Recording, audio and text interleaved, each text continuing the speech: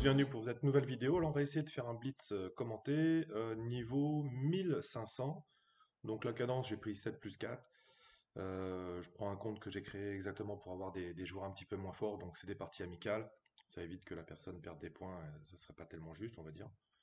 Même si il faut encore que je la gagne. Alors ici, on va jouer ce que je vous propose dans le,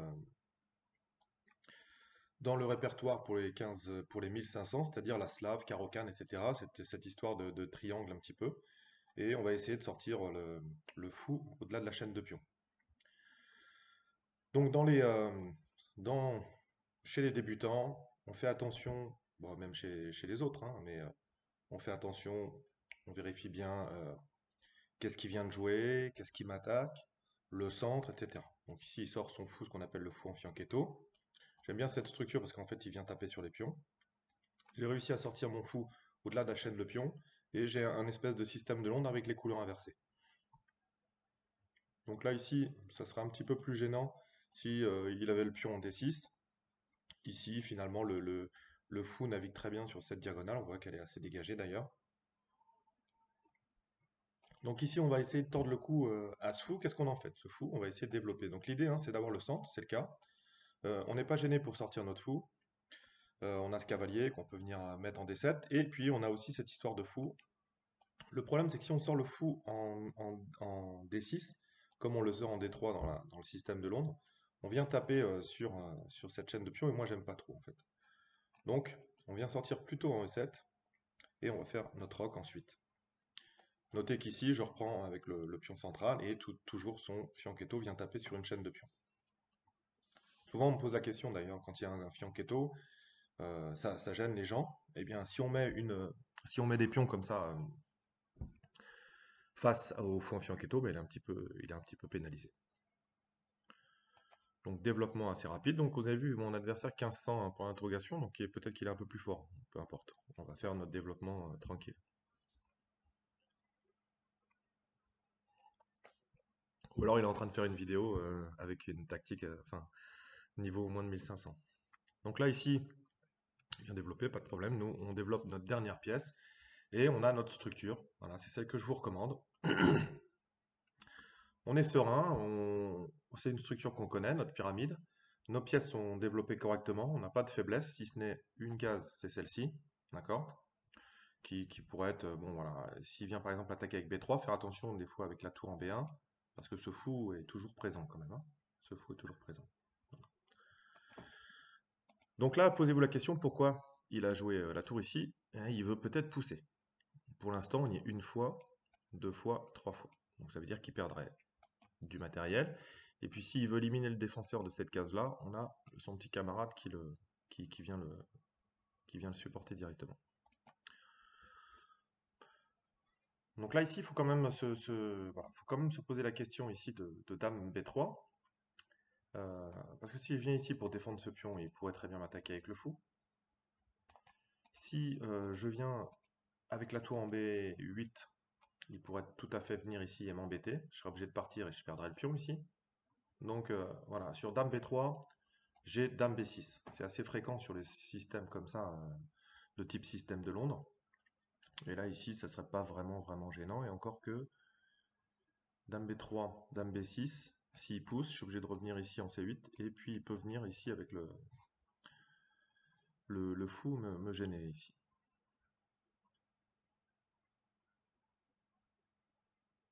Alors de temps en temps, sur les systèmes comme ça, vous savez, la, la Slave Caméléon, je vous avais dit, on joue A6, et puis s'il vient jouer Dame B3, on joue Tour A7.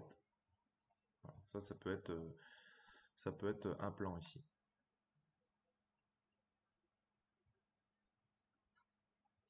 Autre possibilité aussi, je peux commencer à prendre le pion ici.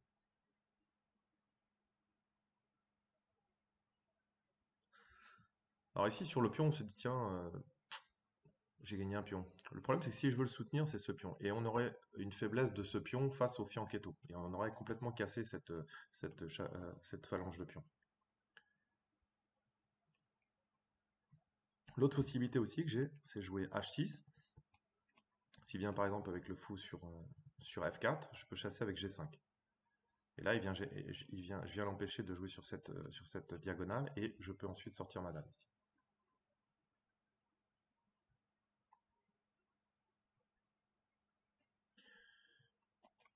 H6 ici, de toute façon, c'est toujours un coup très intéressant. Ça retire un petit peu les possibilités de venir avec cavalier, et puis ça ouvre pour les, pour les maths du couloir. Et ça me donne une petite cachette pour ça. Et ça allait le tenter de prendre éventuellement. Donc là, ici, c'est une petite erreur stratégique de sa part, vu que maintenant, j'ai la paire de fous. Lorsque l'on a la paire de fous, aux échecs, c'est assez fort, mais à partir du moment où le centre est ouvert. Donc là, maintenant, il faudrait que, éventuellement, je puisse ouvrir le centre. Je peux le faire aussi d'une manière ici. Le problème, c'est qu'après, il peut peut-être pousser E4, euh, e donc ici, en tous les cas, c'est une petite erreur stratégique. Parce qu'au final, il a pris un temps pour venir sur, G, sur G5, et ensuite il a repris un temps pour m'échanger une pièce, et elle revient tout de suite avec gain de temps.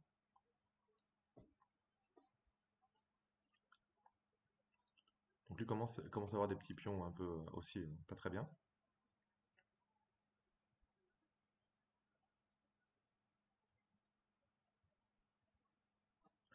Maintenant que mon fou a fait son travail, je peux également le recycler euh, pour jouer sur, euh, ce, petit clouage ici, avec l'idée cavalier, euh, cavalier E4.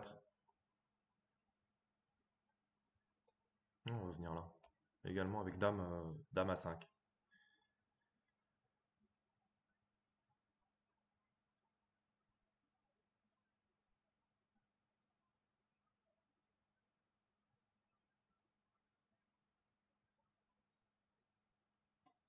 Alors sur Dame A5, il risque de jouer A3. Il faudra absolument que je, prenne à ce moment-là. J'aurais pu la paire de fou, c'est dommage. Si j'enlève néanmoins...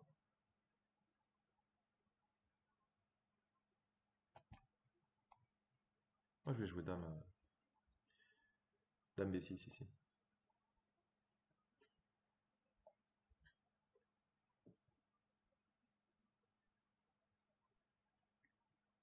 Bon, là, ici, les Noirs euh, ont égalisé, forcément, avec ces petites erreurs stratégiques, mais bon, ils n'ont pas, un, ils ont pas un, avantage gagnant, bien sûr.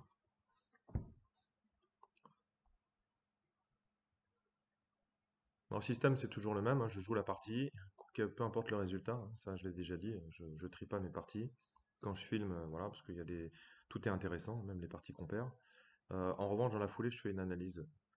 je fais une analyse de la partie ce qui vous permet un petit peu de comprendre et puis de, moi aussi, hein, bien sûr, de voir euh, ce qu'on a réfléchi, ce qu'on a pensé, et puis ensuite la, correction tactique de nos coups avec le stockfish. Vous montrerai comment on fait ensuite à l'issue pour analyser cette partie. Bon. Alors là, ici, ce qui, semble intéressant, c'est qu'il bon, me laisse le pion ici. Donc là, maintenant, on est sur des considérations tactiques. C'est-à-dire que si je prends ici qui prend le fou, je prends le cavalier. Donc j'ai gagné un pion. Mais lui vient gagner le pion ici qui était en, danger. Si je prends ici, c'est toujours le cas.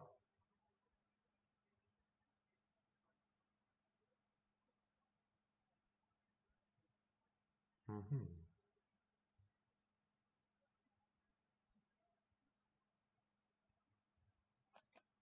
Alors j'ai un petit truc intéressant, c'est que je prends un pion ici. S'il reprend avec la dame, je reprends avec le fou, il est obligé de reprendre avec la dame, parce que, ou du pion. Il ne peut pas reprendre avec la tour, sinon ce pion est non défendu. Ça ferait pas grand chose en fait. On peut revenir sur ce calcul-là.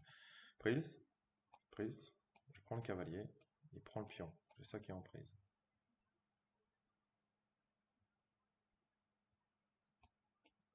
prend, je viens récupérer ce pion là, cela dit.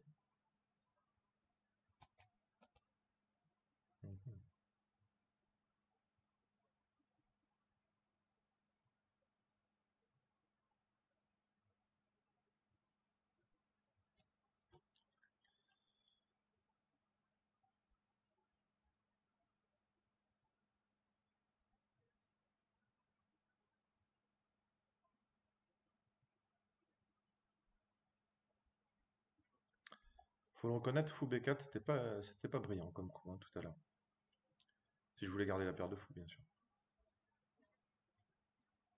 Allez, on va jouer simple. Il reste une 15. J'échange ici.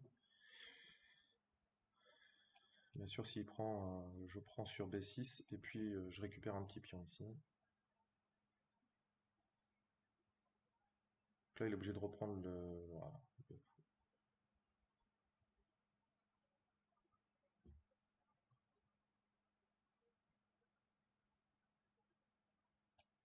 Alors j'ai possibilité ici d'attaquer la dame. Est-ce que ça m'amène à quelque chose C'est ça la question.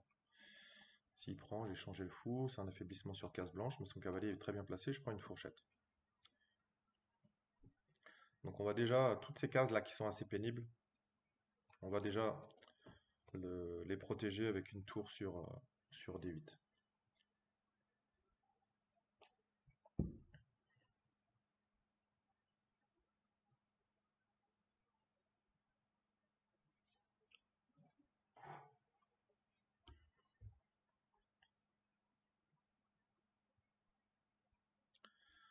Alors la poussée, finalement, ici, ça, casse la tension, donc ça renforce un petit peu cette phalange ici.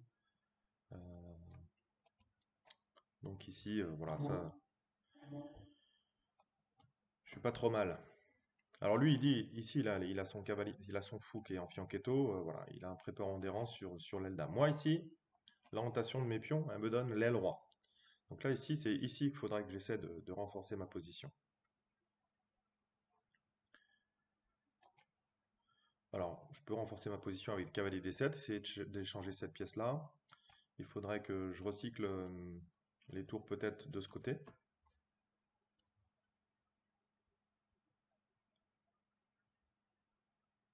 Je l'ai fait qu'on regardera l'analyse, mais du coup, euh, pour protéger la fourchette, peut-être que tour, la tour A qui vient en D8 était peut-être plus fort.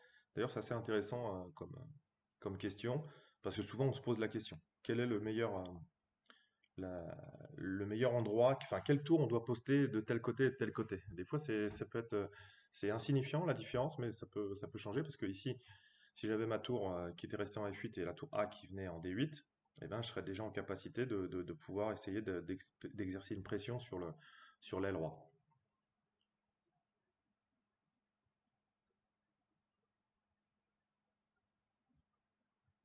J'ai possibilité ici aussi de, de faire cavalier ici sur attaquant la dame, potentiellement de pouvoir pousser le F6.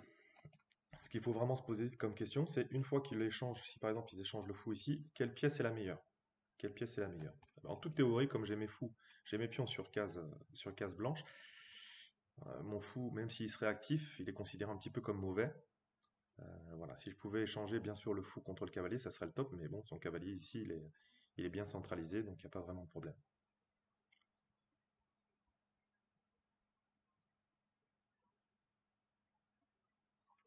Pour essayer de faire l'inverse également.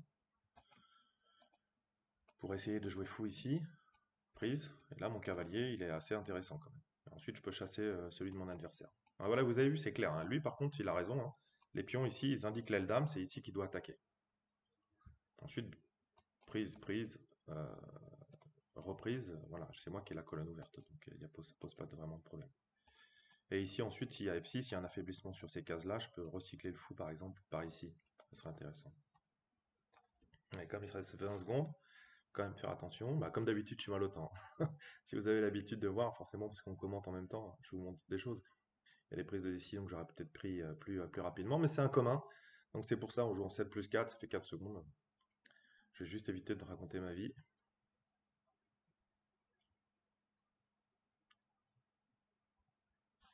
Oh, on peut faire un pré-move, hein, voilà. Alors ça, c'était ce que je voulais un mini affaiblissement.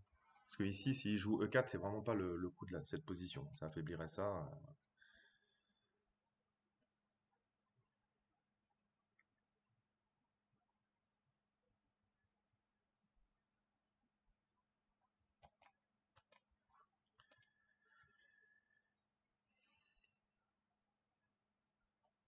Ah, bien sûr, s'il poussait, s'il poussait F4, voilà, le fou ici serait extrêmement puissant. Pour un mauvais fou, il serait très actif. Et sur l'échange, je ramènerai un cavalier. Donc ça, ça serait intéressant pour moi. C'est aussi ça les échecs, c'est essayer de, créer, de se créer des cibles. Il faut, il faut trouver des cibles. Ici, clairement, euh, lorsqu'il a échangé, quand j'avais la paire de fou, je pense que j'avais égalisé, j'étais légèrement mieux. Quand j'ai joué fou B4, qu'il a joué euh, Dame B3, Je pense que c'est lui qui a repris de nouveau l'avantage. On verra l'analyse, mais la M3, c'était très bon coup. J'aurais dû d'abord poster mes tours un peu mieux avant de, revenir sur, sur ce côté-là.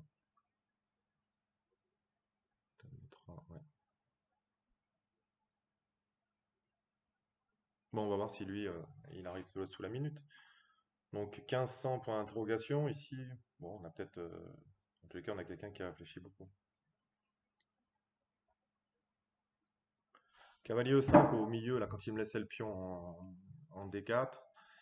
Euh, voilà, s'il l'avait vu, toutes les variantes avec la fin de variante qu'il récupérait, c'est déjà supérieur à 1500, ça c'est clair. Alors là, voilà, il vient bloquer l'aile dame, donc là maintenant je suis tranquille en fait. Hein. Donc là, ce que je vais faire, c'est que je remobilise mes, pièces, parce que là, en fait, il s'est bloqué. Hein. Ça, voilà, il fallait, même s'il il fallait à la limite qu'il conteste cette colonne, et ensuite qu'il ouvre. Et là, le fait qu'il ait les pions qui pouvaient pousser, c'était voilà. Et là, il refait euh, ce qu'on a dit tout à l'heure. Ici, maintenant, ce pion arriéré fait que j'ai une case, euh, enfin, j'ai un avant-poste permanent pour mon cavalier. Là, s'il échange pas, c'est moi qui échange. Voilà. Et en fait, Comment il vient échanger maintenant ce cavalier? Il peut plus. Sauf avec le cavalier. Alors que moi, je peux le chasser. Et son avantage ici, il était sur l'aile dame. Et maintenant, il peut plus pousser. Donc c'est encore une petite erreur stratégique. Donc mon adversaire, il joue bien, hein, il a vu les menaces, etc. Mais c'est en stratégie qu'il qui, a pêché un petit peu. La position, honnêtement, elle doit tenir encore pour les, pour, pour, les blancs. Hein, il n'y a pas vraiment de problème. Et moi ici maintenant, c'est moi qui ai le bon jeu parce qu'ici, il n'a pas un avant-poste permanent avec euh, euh, je peux pousser, etc.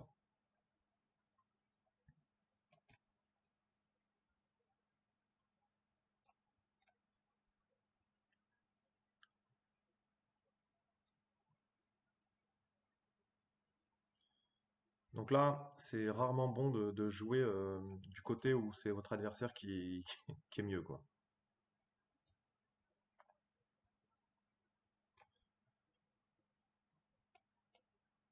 3 secondes. Je pense que ça va être cuite. Bon, bah, c'est dommage. C'est dommage. Euh, c'était une belle partie. J'aurais bien aimé qu'on puisse la finir. Bon, vous avez vu hein, comment on, vérifie ce qu'a joué l'adversaire. Quelles sont les menaces? Comment on peut parer les menaces? Et ensuite, quand même, bah, on se trouve toujours face à un moment où on se dit bah, je sais pas quoi faire, je sais pas quoi faire. C'est souvent lié à de la stratégie. On essaye d'avoir une idée, un plan. De temps en temps, notre plan est mauvais. Hein. C'est comme mon, plan avec fou B4, c'était pas très bon. Je pensais que c'était meilleur que ça. Il a trouvé une défense. À un moment donné, on serre les dents, tant pis, et on va en défense. Ok? Donc, d'habitude, ce que je fais, c'est que je fais l'analyse perso, puis je vous donne dans la foulée. Je vais vous montrer ici comment on fait pour faire l'analyse. Vous allez sur échiquier d'analyse ici. Ensuite, vous avez la position et en dessous l'échiquier, vous avez Demandez une analyse automatique. Vous cliquez sur analyse automatique. Et ensuite, l'ordinateur va calculer les meilleurs coups qu'on a joués. Il va reprendre du dernier jusqu'au premier en donnant euh, une, possibilité. Comment ça fonctionne aux échecs? Euh, Le matériel, donc le matériel de base, c'est le pion. Et c'est comme les scènes, c'est les euros. Euh, on utilise maintenant le centipion, le centième de pion pour donner les avantages et les inconvénients euh, pour l'adversaire. donc un pion, le fou et cavalier ça vaut 3 pions, donc 300 centipions, la tour vaut 5 et la dame vaut 9. Et à partir de là, il fait une estimation de la position. Tiens, c'est assez intéressant de voir que j'ai fait qu'une imprécision, mais quand même qu'à un moment donné, les blancs sont, devant. Et ensuite, il va calculer tout au long de la partie, voilà. Et quand l'ordinateur il donne plus 2, par exemple, ça veut dire que les blancs ont deux pions d'avance. S'il donne moins 2, ça veut dire que ce sont les noirs. Et ensuite, il nous sort un beau diagramme ici. Bah, tout ce qui est en dessous de la courbe, ça veut dire que les noirs euh, ont, l'avantage. Tout ce qui est au-dessus, ça veut dire que les blancs ont l'avantage. Donc ici, on a joué l'ouverture, c'est ce qui décide. On arrive au milieu de partie. Et ensuite, bah, les finales, on n'a pas eu le temps d'y être. Ici, on peut regarder, je suis quasiment sûr, on verra, mais à mon avis, c'est au niveau de l'échange des fous ici on verra. Et puis ensuite, bah, je, merdouille un petit peu, et ensuite fou B4, et puis finalement, je réussis à m'en sortir euh, avec l'échange. Et ensuite, après, vous regardez. Ce qui est intéressant, c'est qu'ici, je regarde juste, oui, vous pouvez faire ici apprendre de vos erreurs. Quand vous faites apprendre de vos erreurs, il vous amène directement sur le, sur les, endroits où vous avez fait des imprécisions, les erreurs. Vous pouvez même jouer les, erreurs de votre adversaire. Vous appuyez sur apprendre de vos erreurs, il va vous dire euh, pas d'erreur trouvée pour les noirs. Et pour les blancs, il va vous donner le coup, qu'est-ce que tu aurais dû jouer, etc. à la place. F5 a été joué. Voilà. F5 a été joué. Voilà. Vous pouvez essayer de trouver le coup. je ne sais pas ce qui a été joué, qu'est-ce qui était le meilleur pour. Euh, voilà, on va dire ça. Il va, il va faire l'évaluation du coup. Il va dire non, non, c'était pas terrible ou finalement c'était mieux qu'F5 en tous les cas. Il va faire l'évaluation du coup. Il va dire bon coup. Ah bien, j'ai pas vu, mais bon. Enfin, dans tous les cas, c'était un coup un petit peu. Et vous passez au suivant, etc. Donc ça, apprendre de, vos erreurs, c'est vraiment très intéressant. Et là, ici, ce qu'on voit, c'est qu'il y a eu trois imprécisions, une erreur, une gaffe. Alors, je ne sais plus comment il calcule, je crois qu'une imprécision, c'est quand vous perdez 0,30, euh, euh, enfin un tiers de pion. Euh, une erreur, je crois que c'est quand vous perdez un pion et demi. Et puis une gaffe, c'est quand euh, vous perdez plus de 3, pions, je crois. Donc là, ici, vous pouvez revenir au coup. Vous avez aussi les temps que vous avez réfléchi par coup. Voilà, vous avez euh, l'historique des parties entre le... Voilà, mais l'analyse de l'ordinateur ici. Est-ce qu'on voit tout? Oui, impeccable. Donc ici, il avait léger avantage. Et c'est à tour 1 qu'il a, commencé à... voilà. Et ensuite, vous pouvez voir ce qui était le meilleur coup donné par l'ordinateur. Vous voyez que c'était Dame B3. Et ici, il propose même d'attaquer le, fou H6. Et il propose même de donner le, de donner le pion ici. C'est souvent le cas dans ce genre de structure, parce que le temps perdu avec la dame fait que eh ben, vous êtes en capacité de récupérer le pion. Et les fous ici braqués fait que vous êtes en incapacité de défendre. Et sur B3, bah, D prend C4, D prend, et puis on a pas mal de, de problématiques ici. Euh, je vais vous remettre du côté tourner l'échiquier, voilà. Donc là, ici, euh, quand vous faites votre analyse, est-ce qu'on l'a sur le côté? Oui. Euh, je vais sortir là. Ici, j'ai donné dans, dans, les paramètres les trois premières lignes de l'ordinateur. Il me donne plus 0,3, donc c'est qu'ici, le 0,3, ça veut dire que mon adversaire a un avantage d'un tiers de pion. Ici, ensuite, pour les noirs, il vous donne la, grosse flèche, c'est la première ligne. La moyenne, c'est la deuxième, la troisième. Ça, ça se change au niveau des paramètres ici. Euh, voilà, le ligne d'analyse, vous avez 3 ou 5, vous pouvez en avoir 5, les processeurs que vous utilisez, la mémoire, et bien sûr, ça augmente l'activité, ça augmente la qualité de l'analyse que vous faites. Donc ici, le, petit, le petit onglet, enfin les trois petits, les trois petits tirets euh, horizontaux, vous allez dessus, ça c'est les paramètres que vous avez pour l'ordinateur. Et pour l'activer ici, c'est le petit bouton, vous l'enlevez ou vous le mettez. Voilà. Ensuite, il vient vous faire tout simplement l'analyse de votre partie. Ici, ce qui est intéressant, c'est qu'on a joué l'ouverture, mais ici, vous pouvez aller sur le petit livre. Euh, ici, ça vous donne les coups qui ont été joués, enfin les coups qui sont joués par l'ordinateur. Ici, c'est une base de données de maître donc 2 millions de parties qui ont été jouées euh, en tournoi FIT, donc sur des classements supérieurs à 2200, de 1952 à 2019.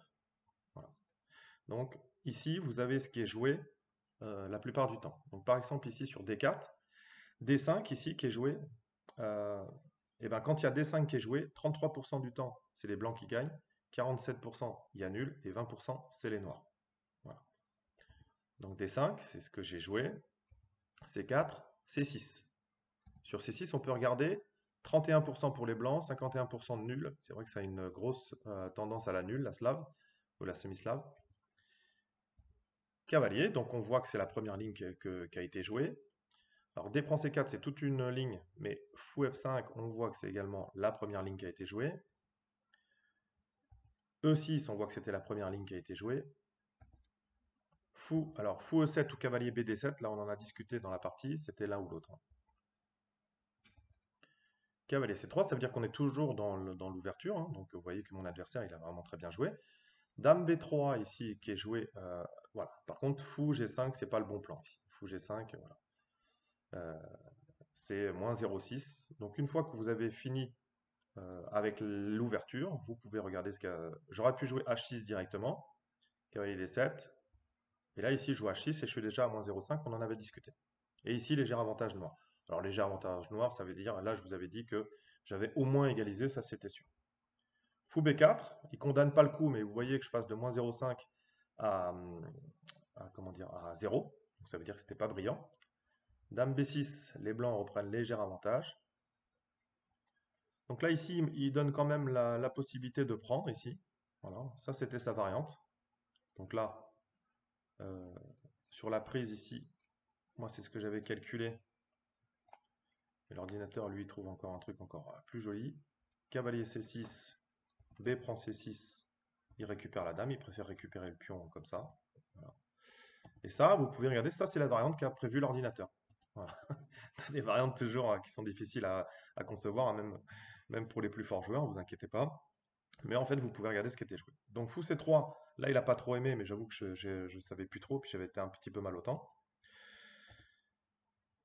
Bon, mal au temps même pas, hein, je mens, et une 14, donc j'ai mal joué ce coup, faut être honnête. Même si euh, voilà, l'ordinateur n'a pas trouvé d'erreur, donc euh, ça veut dire que c'est pas mauvais.